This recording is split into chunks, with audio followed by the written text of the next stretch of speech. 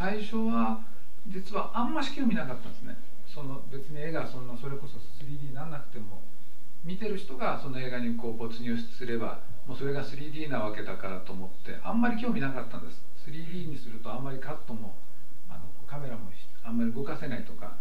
聞いたんで最初は興味なかったんですけどまあ実を言うとちょびっと興味が湧いてきてあるという。あそう。ただ